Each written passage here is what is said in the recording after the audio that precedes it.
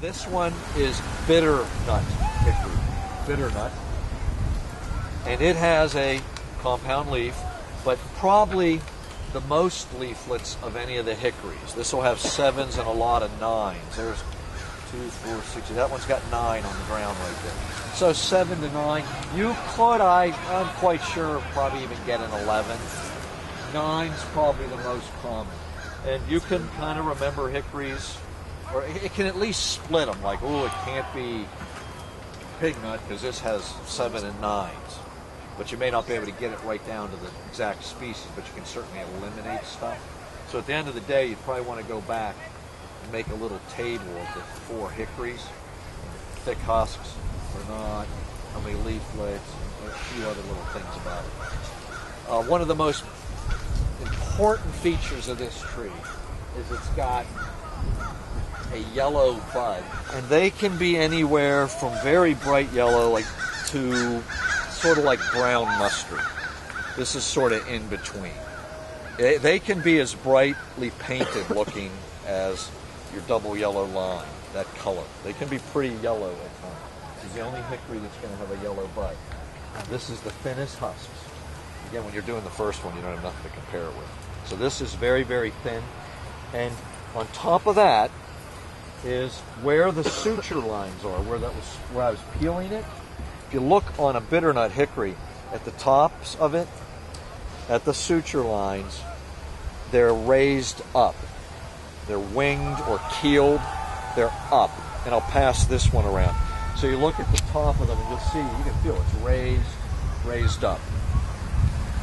That could be helpful too. Now, the nuts, using the nuts aren't always that good, but this one has the thinnest of any that you'll have. All the other hickories, if you try to break them, you're going to break your hand. These you can usually crush. Maybe. You do that with the other ones, literally. You need a hammer or two rocks. So these are thin, and the insides, I kind of think look a bit like brains.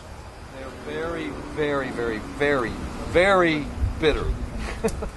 bitter nut, like almost repulsively bitter. This old one's not bad. Girlfriend, crazy. Yeah, I don't know. They're kind of rotten when they're. I think it's pretty good. Okay. they will. It gets washed out. Yeah. But it's just kind of a shame because they're a super meaty thing. These are closely related to pecans or closer to a pecan. There's a ton of meat in there, but then it's just horrible. So a lot of the trees in the woods will just be a smooth gray bark. So that's that's about as furrowed as they'll get on a really, really big one. I doubt you'll ever see one this big, maybe in your lives. Okay, this is a really, really large uh, bitternut hickory.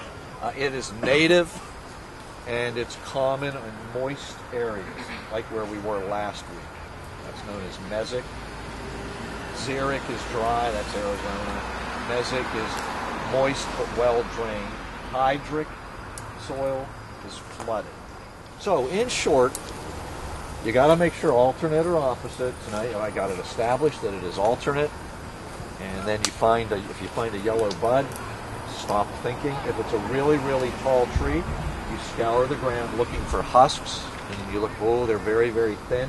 If you find actually a nut, you can look at the thickness of that and say, oh, it's it's awfully thin. This has got to be a bitter.